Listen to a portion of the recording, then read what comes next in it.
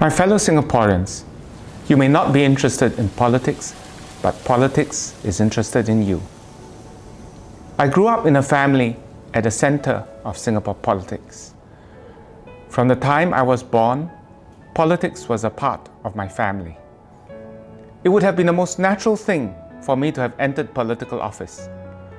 But political leadership in Singapore needs to be much more than about one family or one man. The empirical evidence shows that dynastic politics causes bad government.